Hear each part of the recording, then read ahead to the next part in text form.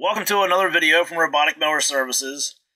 We have a 450XH here, collision sensor active error. So in this video, I'm going to go through the whole system for collision, lift, what's involved, show you how to diagnose it, and all that other good stuff that you're used to seeing from our videos here at Robotic Mower Services. So this is all going to pertain to the 430s, 450s, 520s, and 550s and whatever other variations of those models that you might have, whether it's high cut, low cut. Um, you know, 415X, 115H all wheel drives, they're a horse of a different color, and we'll get to them in another video. But we're going to focus on those models right now the, the 430, 450, 520, and 550. So, collision sensor active. Sometimes it'll say rear collision. You know, if you have a lift error, you know, it's all going to be uh, a lot of the same stuff. So let's get into this here, and we'll start by going over what all is included in the system that tells the mower that the mower's been lifted or that there's a collision. All right, in order for the mower to sense that there's a collision or the mower's been lifted, you have to have a part of the mower that is free to move around, and that's what happens here with the body. The chassis, this part right in here, and all that stuff down below that, that all stays in place while the body, whoops, hold on too hard there. The body floats around. You can see how that, that moves around there, and that'll go from side to side and front to back. And in the front, you can lift that up. And that's what's going to tell the mower, hey, something's going on by this body moving around. Well, what what does this body do? How does this body communicate it to the electronics inside? That's where these joysticks come in. If you've ever taken your the body off of your mower, taken it apart to clean it up, then you know on this style mower you have two joysticks at the back and you have two at the front. The two at the front, they are to sense if the mower's been lifted. They move up and down, and they also move side to side, front to back, round and round and round. But their main thing is to sense if the mower's been lifted. So why do they move all around in those other directions? Well, because when the body is attached to the mower, the body's going to move front to back and side to side and round and round because that's how it's going to sense a collision. So these joysticks have to be able to move with the joysticks in the back, which are the ones that sense a collision in the rear, and they wobble just side to side, front to back, and all around, but they do not lift. They stay just stationary there. They're a solid, a solid joystick. So they're going to measure a collision in the back. These are going to do left. And then you also have a circuit board here in the front under this, this nose of your lower chassis. And that's where that magnet and the magnet holder comes into play. That one that's underneath the, um, the charging plates in the front of the mower. So the, the plastic piece that holds these in here has a magnet in it, and that magnet will move back and forth across this part of the, the upper chassis. And there's a circuit board down under there, and that's what measures that or tells the mower that, hey, something's out of place here. And if we flip this over, you'll see that that's the case with all these other sensors. They all have a circuit board on them, and they all have a magnet. And what happens is that magnet will move past the circuit board and then the mower knows that something is going on there. You can see this this pin right here. That's part of this sensor. So when this is lifted up, it pulls all that and the magnet slides past this circuit board right here. At the back, you have your your rear joystick. Again, circuit board right there. There's a magnet. You can barely see it there. It's that shiny thing in the end of the, the joystick right here. So when the joystick moves, that moves out away from the, the circuit board and tells the mower, hey, something's going on here. And that's the circuit board there in the front that I said about the um, the uh, magnet in the nose of the mower moves past. Your lift sensor over here on this side has one as well. The only one that doesn't have one out of all the joysticks is the other one in the back here because you don't really need anything for that because it's going to move whenever this one moves and even if something happens to this one where it gets bent and mangled up it's going to be pulling on this one here which is going to sense everything. So from the factory, this one here is just a dummy joystick, has no magnet in it. If you go to replace it, it's going to come with a magnet in it. Put it in there. Don't worry, you don't have a circuit board. That's the way it's supposed to be. You just need the one with the circuit board and the cable going to it to have a magnet in it and make sure that everything is is hunky-dory with that one. So that's it there for um, the, the basics of this. You have magnets that are moving past circuit boards and that's what it's going to tell the mower hey something's out of place here something moved something shifted and you know depending on how far that goes how far away that magnet goes from the circuit board is going to indicate to the mower okay time to back up time to turn around or oh i've been lifted up now it's time for me to shut down and wait for somebody to come see what's going on so you follow me here magnets and circuit boards no, no black magic, no voodoo, nothing like that. No smoke and mirrors. Just simple science. Magnets and circuit boards. Okay, so we have that. You understand there now when the body's on there, it's going to pull. If this body is pushed on this front corner here, pushed back, then everything, this joystick is going to be pushed back. This joystick's going to be pushed back. This joystick's going to be pushed back that joystick's going to be pushed back, and that magnet in the front of the, the mower is also going to go back across that circuit board. Everything is going to move in sync. It's all tied together thanks to the body. So, now we'll move into what could cause uh, a lift error or a collision error with your automower. And we'll start with the basic thing. We all know that the body snaps down over top of these four joysticks. So if the body snaps down over them and it doesn't snap down properly over them, you could have a situation where, you know, you ever, you ever have that chair where one leg is shorter than the other and just tilts back and forth and kind of rocks around? You could get that here. If you have three out of the four uh, joysticks properly installed up into the the rubber pieces on the body, you can have that one that wobbles. And if it's back here in this corner and it's not installed properly, and this corner here has room to wobble, every time it wobbles, it's going to pull up on this corner. Same thing if it's the other way around. You know, it can be pulling up on this corner here if it's not down on this one right. Also, if you have it down on this one and not correctly on this one, it's pushing this one to the side. It could also be pushing that one to the side and causing a rear collision. You can also have it to where it's not fastened down in the front properly, and the board uh, back here, or I'm sorry, the board up here in the nose of the mower does not sense that magnet in the magnet holder on the mower, and that could give you a collision error. So the easiest thing to do is just make sure that your body of your mower is actually fastened down on the joysticks properly. And we have a video showing how you remove that by snapping that up off there, how you push it back down on, and you want to hear that pop. So let me let me pull this up off of here and I'll show you exactly what I mean with those uh, snap lock caps under there so everybody's on the same page here. Okay, so underneath the body of the mower, you can see right there, there, up there, kind of hard to see, up there in that corner, and over here in this corner, you got there's four snap lock caps that go down over the ball end of your joysticks. They have to latch up into um, these snap lock caps or this will not seat properly.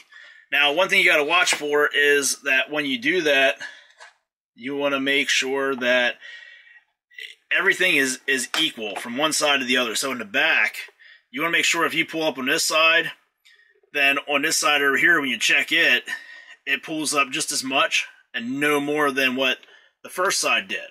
If you have one side that pulls up way more than the other, then something's wrong. Same way at the front. Now the front is going to pull up more than than the back because these joysticks lift up. But you don't want this one to come to here and the other one lift way up because that means that this corner here was not seated down properly onto the joystick. So now you heard me just put that one on there. You want to listen when you go to put this body on that you hear that that smooth pop. You'll feel that little snap down on there. And when you do that, you want to hear You want to hear that one time. You don't want to hear that twice. So if you go to lift up on it, you don't want to hear it move and then move again. Because what that means is that your snap lock cap is shot. The ball end of the joystick pushed the whole way through it. And what you can end with there is you push that down on there, it latches on, but if this runs under a tree branch or somebody pushes down on it trying to make sure that it is down on there, it just pushed down past that now. So because this is pushed up through there, it's pulling the body down on this side, which is again going to raise that joystick up here in this corner. Uh, it's going to cause the body to sit on there crooked, and even if it doesn't throw uh, an error message right away, all it's going to take is for it to go out there and just kind of vibrate across the ground a little bit. And it's already pulling up on this. So it pulls up just a little bit more, and then you're going to get your lift error. Now, you'll be able to tell when you pull this off if you just look through there, and you'll see that that cap is busted open. But you can also tell when you go to lift up on it that you'll get that you'll get that first little pop, and then you'll get the second one when it comes off. And we made a video showing this on the um, the thing didn't want to come off there. Uh, we made a video showing this on the all-wheel drives because there was a problem with them for a while where where it was doing that. So that's it with uh, checking the body being properly mounted. Bear with me here. Get this lined up. Show you. You want to get everything even around this center part here. And then you want to push down on each corner when you go to put that back on. Hear that pop? pop. Now they're all four on there. When I pick up on this corner, this corner over here on the other side shouldn't move way up higher. You know, same way in the front. If I lift up this side, then this side over here should lift up the same amount. I shouldn't be able to lift this one way up. So that's the first thing to check. That's the easiest thing to check. And that's the most common thing that goes wrong. Somebody picks this up the wrong way. It gets jammed under a tree branch or something. Or, you know, whatever the reason. Body pops off of uh, one of the joysticks. Alright, so I pulled this corner here off. All three of the other ones are snapped down on it. But you can see if I lift up on this. Look at all that movement there. And then I come to the other side. The chassis and everything's moving. So you know that this isn't clipped on properly. Now, another way you can tell where your collision is at, if you say, well, I don't know, I can't tell what I'm feeling for here, you go into Meller's menu screen. You have to go into the Meller for this, into the Meller's menu. If you have the collision error up, it doesn't matter. If you're on the home screen, if you're in the menu, it doesn't matter. Just hold down the zero button. Quick info. Go to info, select OK, and you're going to come down to sensors. And this is going to give you all the information for all of your collision and lift sensors. Now, this is saying that there's a collision in the rear, which we know that because that was what our original problem was, that we had a collision active, right? Um, this one back here, I showed you that this is snapped up. If I snap that back down, that's not going away. To show you how this works, um, actually, before I do that, the reason why that's not going away is because this is our initial error that we're still looking for, and it's more than just the body not being snapped down properly the joystick. So, um, you can see here we have lifted right, lifted left. If I lift up on one of these sides over here, it goes from active no to active yes. See that? And then in the front, that's where your your uh, magnet is at there in the front of the mower. So collision front, it's saying no. If I push the front, the body front, it's saying yes. If I release that, it goes away. It says no.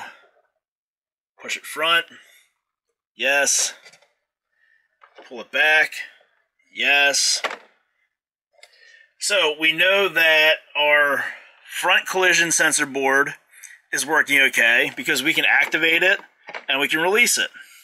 We know that our lift sensors.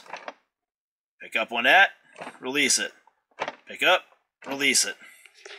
Same way with the other side. Pick up, yes. Release it, no. So we know everything is working properly. Uh, at the front there, we know that our lift sensors are working, our front collision's working. We still have this rear collision, so that's going to go back here to the joysticks in the back. here and here. So the next thing to do is we pop the body off there, make sure that something's not going wrong with the grommet, and make sure that the joystick doesn't have any noticeable damage to it. Alright, we pulled the body off there. We want to check the body out and make sure that our our snap lock caps, that they're not wobbly and loose, you know, and really flopping around in the um, the body of the mower. You know, there'll be a little bit of play there. You should be able to spin them around, but you shouldn't be able to just lift up and flop those things up and down really um, real extensively. You know, you shouldn't see a spot where they're worn into the plastic of the body. And another thing that'll happen sometimes is people will pull this off. Snap lock cap will pull through, stay on the joystick. They'll put it back on, and you don't realize that it's not up in the body. You have to push these into the body from the front and then slide them back. It's not going to push up straight up through that if you leave it on the joystick. So that's what you want to look for with the snap lock caps in your body. Everything's good there. So now you're going to come to your joystick. Is it nice and straight, or is it all wonky and curved up because somebody ran your mower over? You can look at it compared to the other one. You can see that, yep, this one here is good. Also go back in here, and you can see that uh, when we go back into our quick info menu, since we have the body off, we have a front collision because we don't have the magnet over top of that circuit board in the nose, right? That's the one that's uh, up here and that, that magnet holder on the nose of our mower. So, of course, we're going to have collision there. Um, if you pull the body off and that rear collision goes away, then it was something to do with your joystick or the grommet, you know, whether one of these is bent and pulling on the other one, or that grommet, that snap lock cap wasn't in place there. Because ours did not go away, we still have a rear collision active with nothing pulling on this, nothing pushing on this, we've got some deeper issues. And we can we can wiggle this thing all around and you can see that it's not it's not doing anything. So the next step would be you could pull this joystick out of here. You don't have to you don't have to split the chassis. To do that. You can pull that up out just to make sure that the magnet didn't fall out of it or anything. But if this thing had been working for a while, chances are that's not going to happen. Um, pretty much anything you're going to have to fix on this would be involving um, splitting the mower open, splitting the chassis open. So we're going to go ahead and do that, and I'll show you what's going on underneath here inside the chassis. Okay, upper chassis off the mower. We know we're focusing on our uh, rear joystick because this mower has a rear collision, or it shows in the quick info menu that it's a, a rear collision. Uh, the menu screen just say collision active. But what you want to look for is to make sure that the magnet is still in the joystick. You can see that. Nice and shiny there. It's still in there. Our circuit board is there, and our ribbon cable is firmly plugged into that circuit board.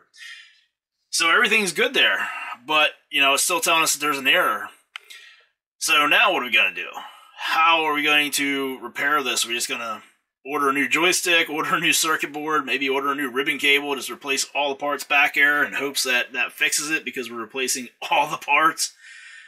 No, there's a better method to narrow this down to figure out what you need and what's going on with this mower. On these mowers, the circuit board here that is back here for your rear joystick, it is the same circuit board that is used up here in the nose of the mower. They're both collision circuit boards. Uh, they're both for measuring the collisions on these mowers. They have the same plug.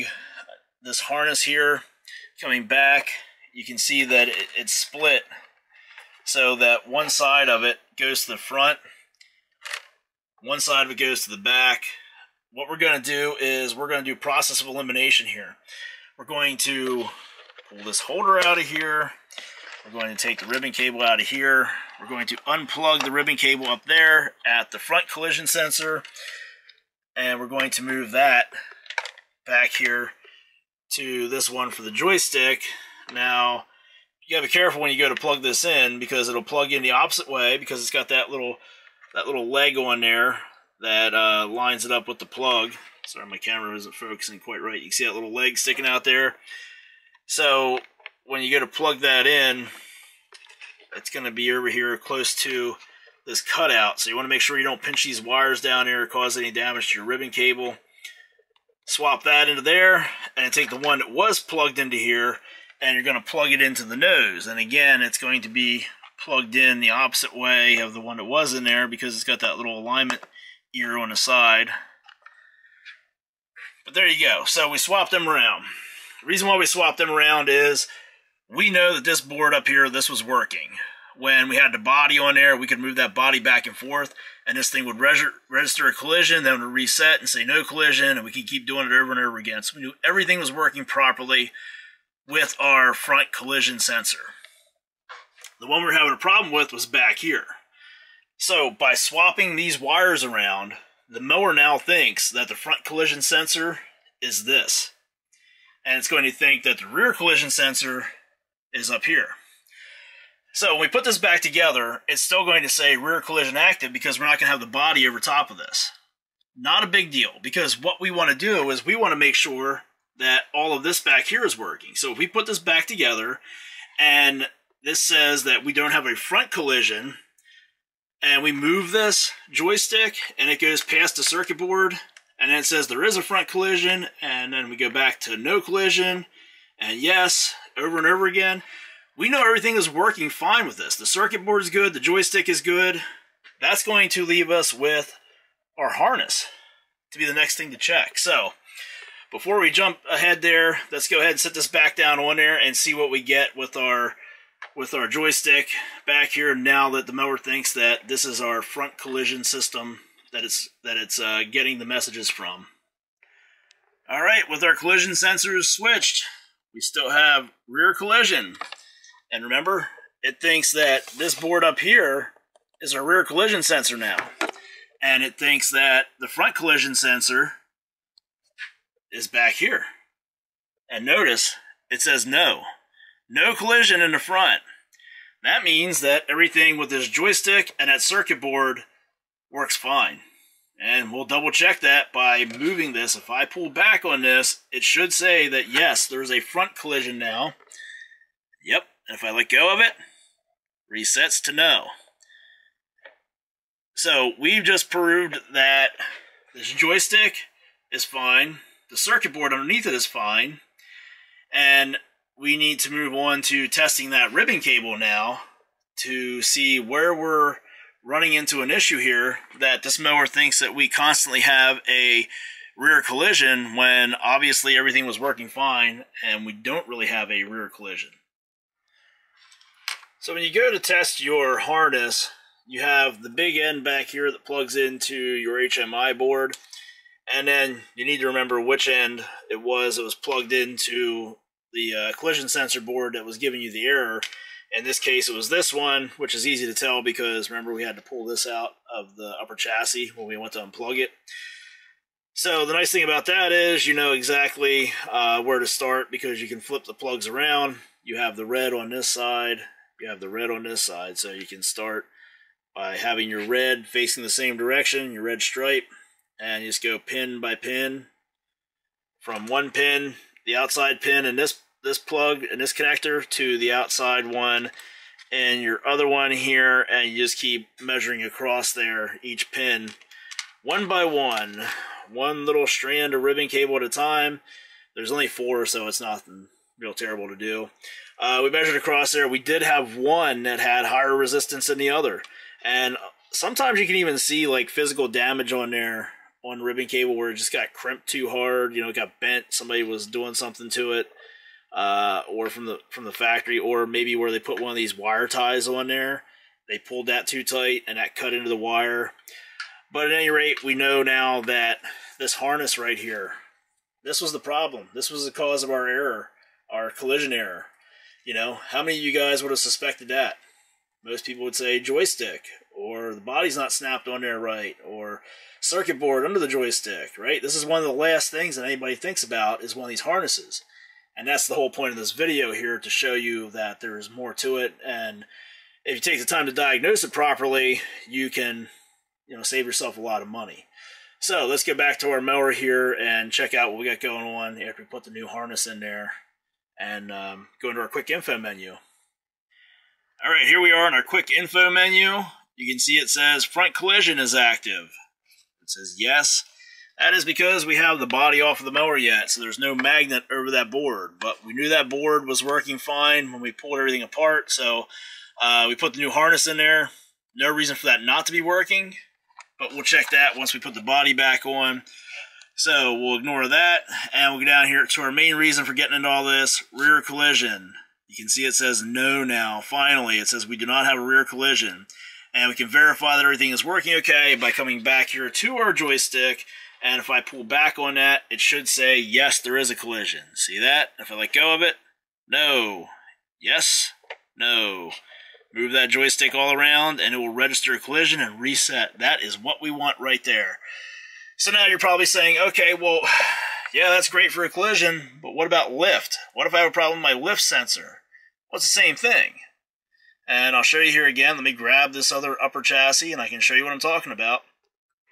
All right, so if you have a, a constant lift active one there, so this is saying that the right one is active all the time, and no matter what you do, it doesn't go away.